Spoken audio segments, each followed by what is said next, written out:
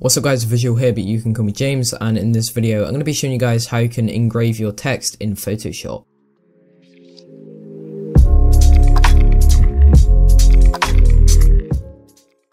So guys, this is the final result if you do manage to follow along with the tutorial as you can see here. Looks really nice, so it works with any wood texture, also metal textures, and then once you've done, you can actually double click on the layer style, go ahead and save it and you can use this anytime you want. So it really doesn't matter what texture you get, but as you can see here, I've got a metal texture, or you can just get any wood texture, it really doesn't matter like I said before, uh, just pause the video if you do need the time to go ahead and find one, but like I said, it should be as simple as you're searching for the texture you want, grabbing a HD image and then putting it into a 1280 by 720 uh, Photoshop document. So once you do have your picture into Photoshop, you want to go to your text tool, select anywhere on the screen, and you want to type in your text. So I'm going to go ahead and do that. So I've just typed in carved, as you can see, just to match the actual theme of this. Make sure it is centered, and also you want to make sure that the text itself is actually white. If it's not white, it's not going to work, so make sure your color is selected as white. If it's not, double click on the text like that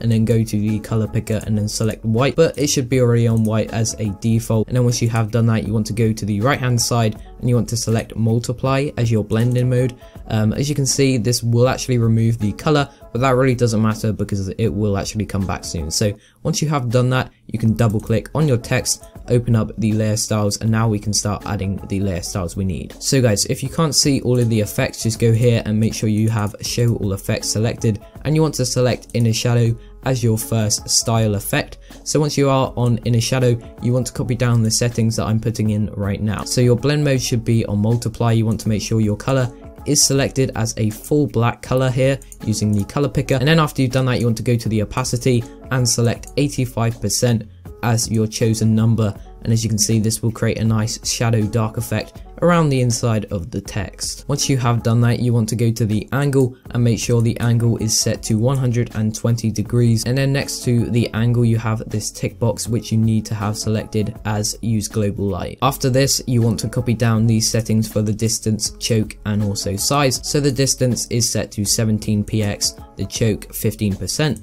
and then the size as 18px and those are the best settings in my opinion. But you can of course mess around with these. It really doesn't matter. These are just the um, actual sizes that I found best to work with this effect. Next is the quality which you really don't need to mess with. So you have finished with the inner shadow part. Now you want to go to bevel and emboss over here on the left hand side. And as you can see this will just add the effect already. But for you guys it's going to look something different to this. So you do want to copy down the effects I'm putting in right now. So first of all you want to make sure your style is on outer bevel. Then your technique is set to chisel hard and the depth is on 100% if you do increase it it's going to look kind of weird. So make sure you do keep that on 100% the direction, I don't really know what this does, so I'd probably just keep this on up, which I believe is the default. The size, it really does depend on the font you are using. Uh, the font I'm using is Bebas, and I have this on 5px, but you can increase this if you want, it's just going to increase the actual like bevel and emboss effect.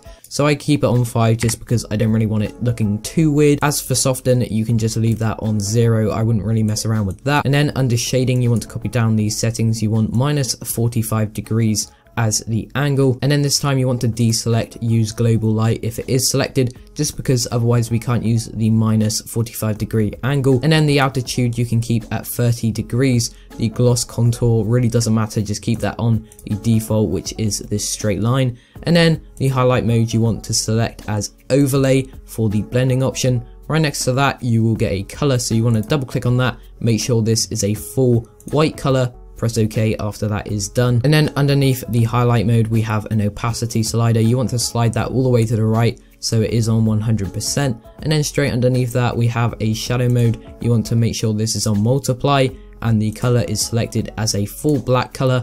Press OK and make sure the opacity of this as well is set to 100%. So guys, after you have done those first two effects, you want to select color overlay. Make sure your color is set to a full black color using the color picker. If it isn't set to black already, make sure you change it. And then the blend mode to the left of the color, you want to select as overlay. And as you can see, this looks a little too dark. So I'm going to decrease the opacity to 20% If you want it to look any darker, then you make sure to increase that. But in my opinion, 20% is the best median for this effect. So guys, after you have done that, you want to select gradient overlay. You want to go straight to the gradient option and that will open up the gradient editor page. And now what you want to do is make sure you have a full white color going to a full black color. And now using your mouse, just click on the white color here on the left hand side and drag this so it hits the middle of the slider here. So it will make the location around about 50% here. So I'm just going to move it around about there